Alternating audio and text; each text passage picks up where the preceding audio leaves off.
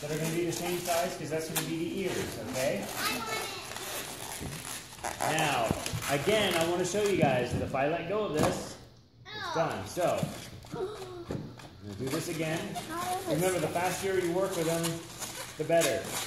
Because when your finger grease is on these, they're going to start uh, deteriorating. Slipping. It'll take a while, but it is always good to really wash your hands good before you handle these.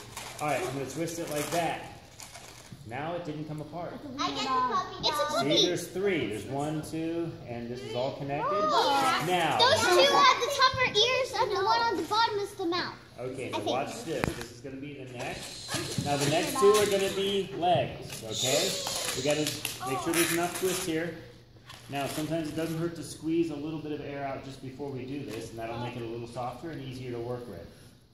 I'll do Okay? this. Now I'm going to do this. Are you watching? I am. Like this. And then, remember, twist it together, and that will not come apart. I want it. I want it. Okay, now.